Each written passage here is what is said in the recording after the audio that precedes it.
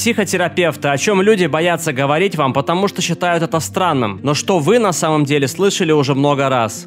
Я часто работаю с клиентами, у которых есть травматический опыт. Многие люди, пережившие домогательство или насилие, чувствуют стыд и растерянность, потому что их тело отреагировало на произошедшее. Однако наличие эрекции, выделение смазки или даже оргазма не означает, что вы хотели этого контакта. Так или иначе, это расценивается как насилие. Клиенты часто испытывают стыд и замешательство по этому поводу. Они задаются вопросом, не значит ли это, что они хотели этого или с ними что-то не так. С этим трудно справиться, но насилие есть насилие. Иногда человеческое тело реагирует на интимные прикосновения, даже если мы не хотим этого. Кто-то однажды сказал, что это как щекотка. Вы смеетесь, когда вас щекочут, даже если вы не хотите, чтобы вас щекотали.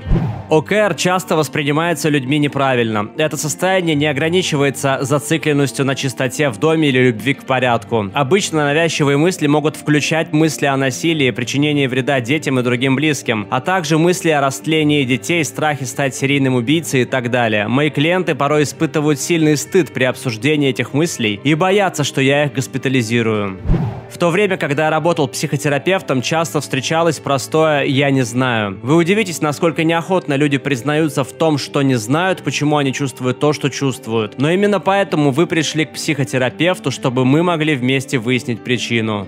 Я работаю в службе помощи пожилым людям с деменцией и проблемами психического здоровья. Я вижу, как многие члены семьи, опекуны стыдятся того факта, что им невероятно трудно ухаживать за человеком, страдающим деменцией или хроническими психическими расстройствами. Выгорание опекуна – это реальная проблема. Люди должны знать, что человеку крайне тяжело каждый день видеть, как кто-то, кого он любит, испытывает трудности или месяц за месяцем медленно угасает. Сиделки и члены семьи больного отчаянно нуждаются во времени, которое они могли бы потратить на себя. И они должны должны знать, что это нормально испытывать те чувства, которые они испытывают. Никто из нас не является сверхчеловеком, и у каждого есть свои потребности. Именно поэтому у нас есть психотерапевтические группы для опекунов. Это нормально, когда вам трудно заботиться о ком-то, и вы ни в коем случае не должны стыдиться этих чувств.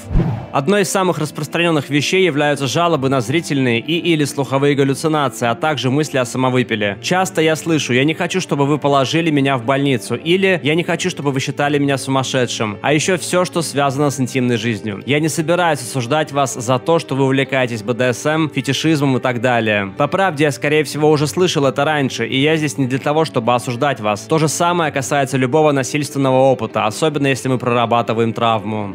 Клиенты боятся признать, что у них не получилось сделать что-то после нашей последней сессии. К примеру, они не смогли использовать навык совладания, которому они учатся, или у них не вышло выполнить домашнее задание, что я им дал. Люди не роботы, а терапия – это большой труд. Учитывая это, я не жду, что люди станут идеально выполнять все, что нужно. Требуется время, чтобы действительно решиться на перемены, особенно если у человека травма или конфликт во взглядах, которым он придерживается. Я понимаю, что клиент не хочет подвести меня как своего психотерапевта, но эти неудачи также важно обсуждать, как и успешные моменты.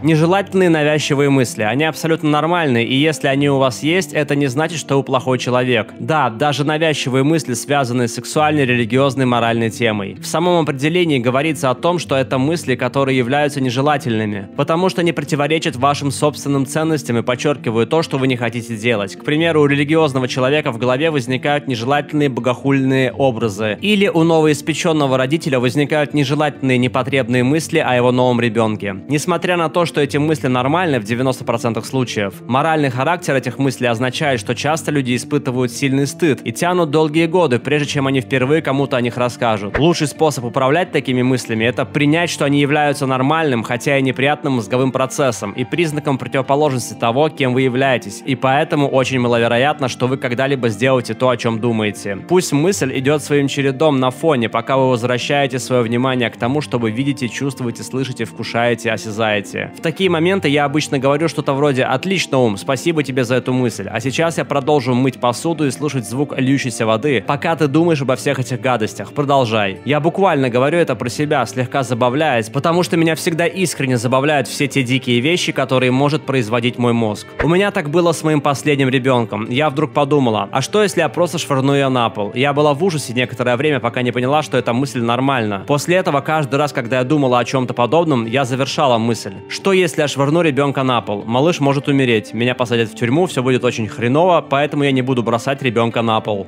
Я бы сказал, что распространенным является мнение, что с человеком с рождения что-то не так, что в нем есть что-то непоправимо неправильное, из-за чего он никогда не сможет по-настоящему вписаться в общество. Для многих людей это настолько глубоко укоренившееся убеждение, что его признание или выражение может быть крайне болезненным, независимо от уровня личного успеха в их жизни. Хуже всего это знать без сомнения, что ты придерживаешься ложного мнения о себе, но при этом не имеешь возможности изменить его. Я провел достаточно много времени в терапии, пытаясь понять, что со мной не так, чтобы понять, что со мной все так, но укоренившаяся модель мышления так и не исчезла.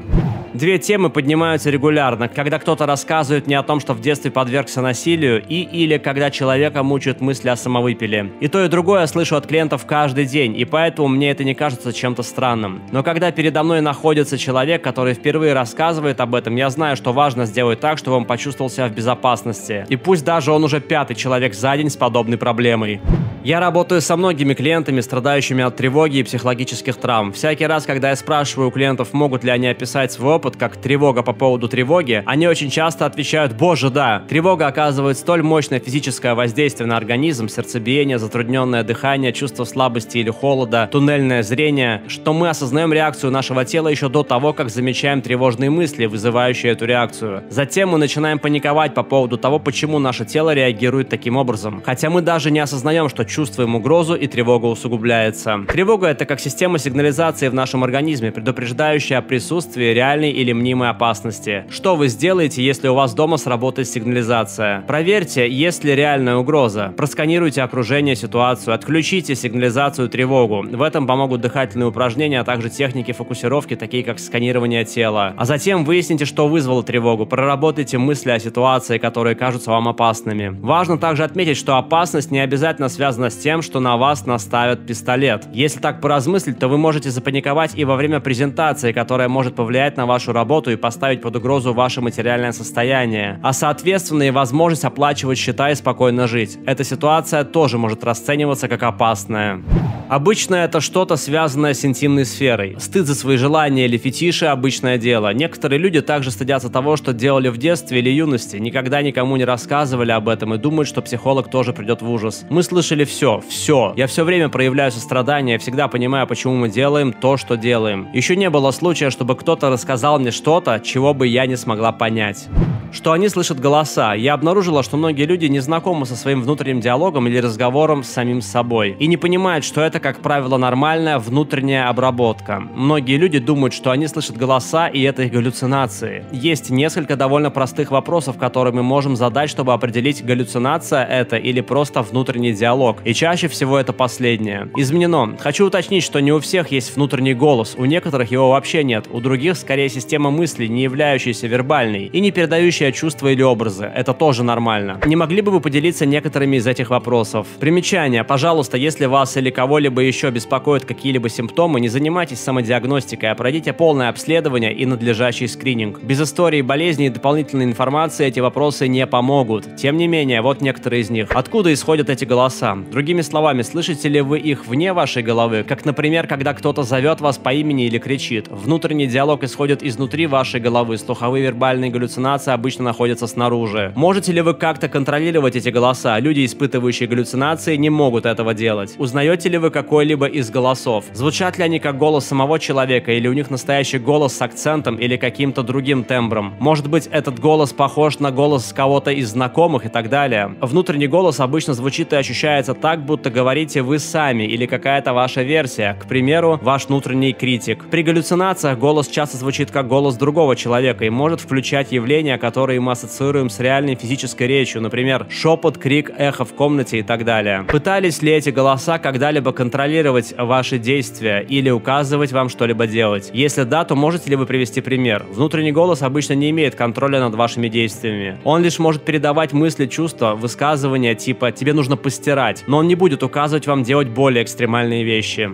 Я работаю психологом в США. Вот лишь некоторые из таких вещей. Компульсивная мастурбация, страх стать растлителем, насильником – это распространенный страх УКР. Патологическое накопительство, трудности в интимной сфере, опыт пережитого насилия или растления – к сожалению, это очень распространенная проблема. Употребление различных веществ, трата огромного количества денег на те или иные вещи, наличие аутизма, возвращение к абьюзивным отношениям, пребывание в отношениях с абьюзером, наличие чувства скорби спустя многие годы после потери, самоповреждение всех видов, желание отказаться от своего нынешнего образа жизни, к примеру, желание иметь больше половых партнеров, желание уйти от ответственности или ожиданий других людей, история группового насилия, нападения, асексуальность, гендерная идентичность, расизм, травма на почве расизма, паранойя, галлюцинации, чувство дискомфорта в терапии, неверие в терапию, трудности с доверием к терапевту, страх перед психиатрическими лекарствами, страх перед врачами в целом. Я был удивлен, увидев в комментариях других людей мысли о самовыпиле. Большинство моих клиентов с самого начала терапии очень открыто говорят о таких мыслях и побуждениях, что, на мой взгляд, очень полезно. Кажется, что у большинства людей, с которыми я работал, были подобные мысли, текущие или в прошлом. Как бы странно это ни казалось, я не могу представить себе, каково в целом жить без мысли о желании покончить с собой. В общем, на данный момент я не помню такого случая, когда пациент сказал бы что-то во время нашего сеанса, и я был бы этим шокирован или даже подумал, о, это что-то новенькое. Большое спасибо за просмотр. В комментариях под видео психотерапевты напишите, о чем люди боятся говорить вам, потому что считают это странным, но что вы на самом деле слышали уже много раз. И не забудьте посмотреть наши другие выпуски. Обнял, пока.